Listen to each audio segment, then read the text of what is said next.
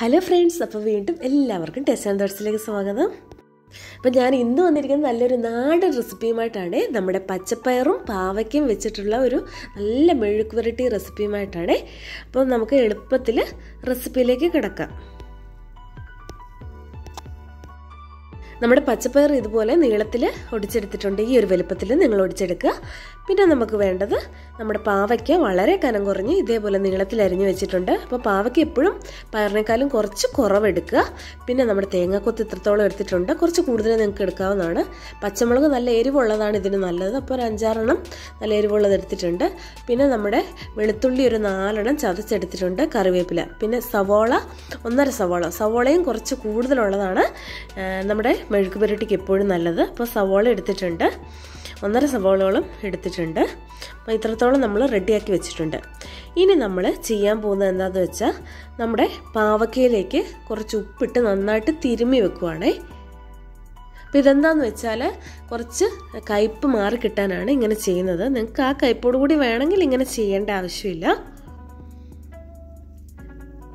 കുറച്ച് ഉപ്പിട്ട് നമ്മൾ കുറച്ച് നേരം തിരുമ്മി ഇങ്ങനെ മാറ്റി വെച്ചേക്കാം. അപ്പോഴത്തേനും അതിലേക്ക് വെള്ളമൊക്കെ ഇങ്ങനെ ഊർന്നു വരും കുറച്ച്. അത് പിഴിഞ്ഞ് മാറ്റി നമുക്ക് എടുക്കാം. ഓക്കെ ഇനി നമുക്ക് ഒരു പാൻ വെച്ച് അതിലേക്ക് ആവശ്യത്തിനുള്ള ഓയിൽ ഒഴിച്ച് കൊടുക്കാം. അപ്പം മെഴുക്ക് പുരട്ടിക്ക് എപ്പോഴും കുറച്ച് കൂടുതൽ ഓയിൽ വേണം. അപ്പം നമ്മൾ തേങ്ങ കോക്കനട്ട് ഓയിലാണ് വെളിച്ചെണ്ണയാണ് നമ്മൾ എടുക്കുന്നത്. അതിലേക്ക് നമ്മൾ കടുകിട്ട് പൊട്ടിക്കുന്നുണ്ട് ആദ്യം.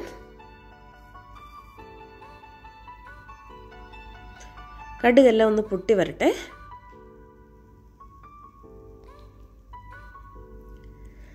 ഓക്കെ ഇനി നമുക്ക് അതിലേക്ക് നമ്മൾ ചതച്ച് വെച്ചിരുന്ന വെളുത്തുള്ളി ഒരു നാല് അഞ്ച് വെളുത്തുള്ളി എടുത്തിട്ടുണ്ട്.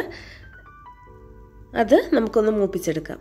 അതൊന്ന് മൂത്ത് വന്നപ്പോൾ നമ്മൾ അതിലേക്ക് നമ്മുടെ കറിവേപ്പില പച്ചമുളക് തേങ്ങാക്കൊത്ത് ഇതെല്ലാം കൂടെ ഇട്ട് കൊടുക്കുന്നുണ്ട്. അതിന്റെ പച്ചമണം ഒന്ന് മാറി വരുമ്പോൾ നമുക്കതിലേക്ക് സവോളയും കൂടെ ഇട്ട് കൊടുക്കാവുന്നതാണ്.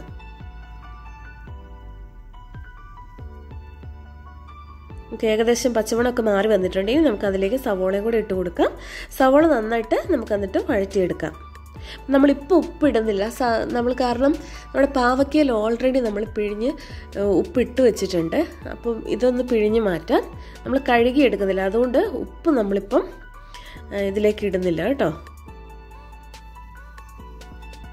ഓക്കെ അതൊന്ന് പിഴിഞ്ഞ് മാറ്റി വെച്ചിട്ടുണ്ട്.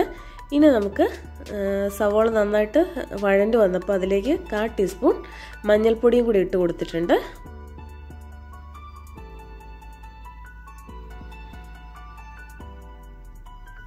അതിന്റെ പച്ചമണം മാറി വന്നപ്പോൾ നമുക്ക് അതിലേക്ക് നമ്മുടെ പയറും ഉപ്പ് പിഴിഞ്ഞ് കളഞ്ഞ് ഉപ്പ് നമ്മൾ ഓൾറെഡി പുരട്ടി വെച്ചിരുന്നതാണ് അത് പിഴിഞ്ഞെടുത്തു. എന്നിട്ട് നമ്മൾ പാവയ്ക്ക് ഇതിലേക്ക് ഇട്ട് കൊടുക്കുകയാണ്. അതിന് ചെറുതായിട്ട് ഉപ്പുണ്ടാവും. അപ്പം ഇതൊന്ന് പകുതി വെന്ത് വരുമ്പോൾ നമുക്ക് ഉപ്പ് നോക്കിയിട്ട് വേണമെങ്കിൽ പിന്നെ ഇടാവുന്നതാണ്. ഇനി മൂടി വെച്ച് നമുക്ക് വേവിക്കാം. ചെറുതീയിൽ ഓക്കെ ചെറുതീയിൽ നമ്മൾ ഒന്ന് തുറന്ന് നോക്കാം. ഇടയ്ക്കൊന്ന് തുറന്ന് നോക്കുക. എന്നിട്ടൊന്ന് ഇളക്കിയൊക്കെ കൊടുക്കുക. കുറച്ച് നന്നായിട്ട് വാടി വന്നിട്ടുണ്ട്. കുറച്ചും കൂടെ വാടി കഴിയുമ്പോൾ നമുക്ക് ഉപ്പ് നോക്കിയിട്ട് ആവശ്യത്തിന് വേണമെങ്കിൽ ഉപ്പിട്ട് കൊടുക്കാം.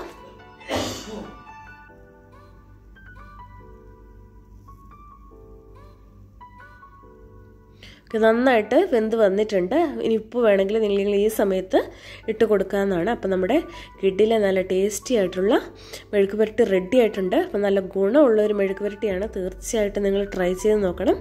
ഇഷ്ടപ്പെടുവാണെങ്കിൽ ലൈക്ക് ചെയ്യുക. നിങ്ങളുടെ അഭിപ്രായങ്ങൾ അറിയിക്കുക. അതോടൊപ്പം എന്റെ ചാനൽ സബ്സ്ക്രൈബ് ചെയ്യാത്തവരുണ്ടെങ്കിൽ സബ്സ്ക്രൈബ് ചെയ്യാനും മറക്കല്ലേ. താങ്ക്